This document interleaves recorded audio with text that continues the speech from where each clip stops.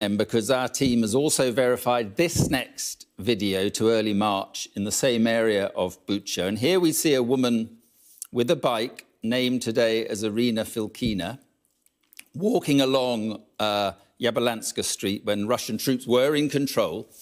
Around the corner is an armoured vehicle identified by our team as a Russian military vehicle. So the Russians are there.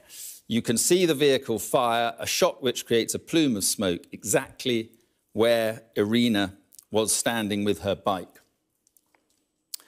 Now, how, after how, the how after let me finish.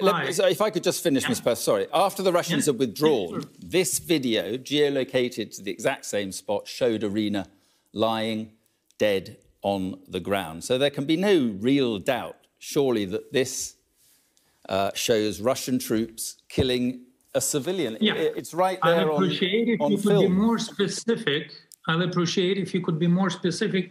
How could you exactly identify the Russian tank or whatever what was standing? Why, why do you think it was Russian? Okay, well, I think we we got a still that shows the Russian tank. You can see if you look at that, you can see the V marking